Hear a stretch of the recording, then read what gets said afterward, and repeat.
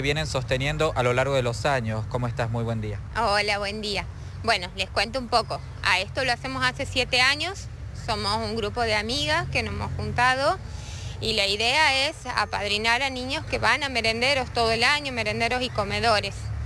Eh, nosotros les llevamos unas cartitas y los chicos ahí escriben qué es lo que esperan para la Navidad. ¿Cómo han tejido, Mercedes, este vínculo ¿no? con los diferentes comedores?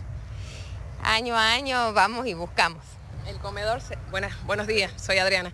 El comedor se elige al azar, eh, no, no debe pertenecer, o sea, no debes recibir ayuda política, porque nosotros somos un grupo de amigas a pulmón, con la ayuda de la gente que apadrina a los niños. Entonces, por eso, eh, la idea es que todo sea pulmón, ¿no es cierto? No, no recibimos ayuda de ninguna organización ni de nada. El merendero o el comedor es elegido al azar.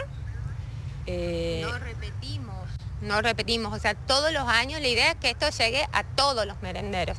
Entonces, todos los años cambiamos de merendero. Y nada, y buscamos por todos lados, porque por ahí es como que uno no sabe de tantos, pero siempre empezamos a buscar y a indagar. Algo sobre el origen, decían somos un grupo de amigos. ¿Cómo surgió esa idea inicial de contribuir de esta forma? Surgió de la Peque.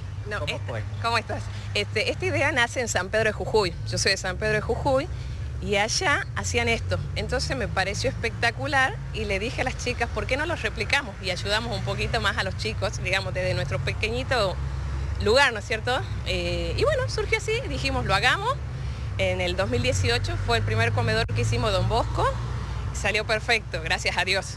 Y entonces el año siguiente los repetimos, que fuimos a los dos comedores de Villalem, en el tercer año fuimos a un merendero por, una sonrisa feliz. En el cuarto año que hicimos esto fue en el Hogar de Cristo y en Villa Carmela. Eh, en los pocitos, en el manantial, en las talitas, eh, ahora Yerba Buena, Tafí Viejo y San Pablo. Mercedes, vamos a la convocatoria de este año. Decías, hay una cartita en la cual los chicos eh, optan, ¿no? escriben sus deseos, sus anhelos, qué es lo que quieren y cómo sigue el proceso.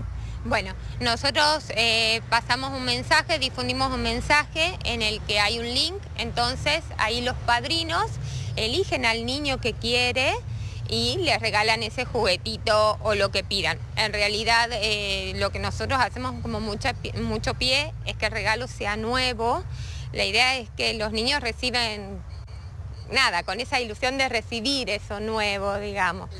Lo que sucede es que muchas veces los niños de los merenderos o comedores no, reciben regalos nuevos, es la primera vez que reciben un regalo nuevo, entonces cuando lo abren se maravillan y, la verdad es increíble.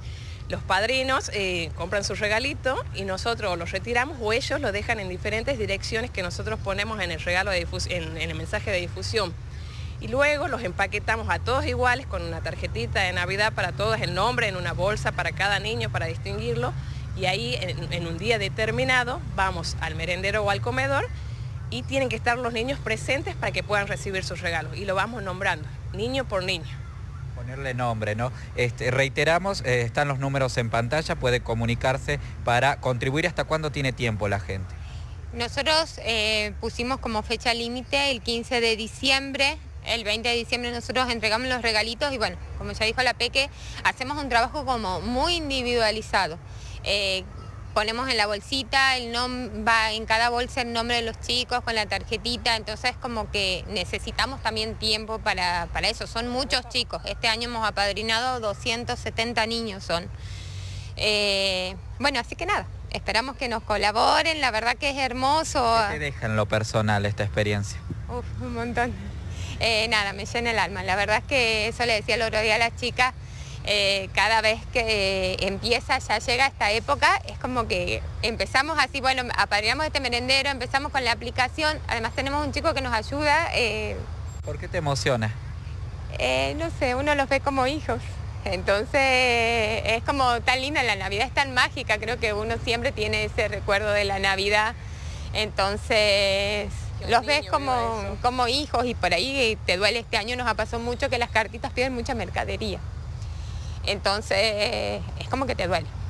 Te duele y la verdad que nada, yo tengo algo tan grabado, hemos ido a un merendero de los Positos y estábamos afuera llorando las dos abrazadas y vino un pequeñito, era muy chiquito, nos abrazó la pierna y dice, gracias, primera vez que tengo una pelota de verdad y una pelota nueva, digamos, bueno.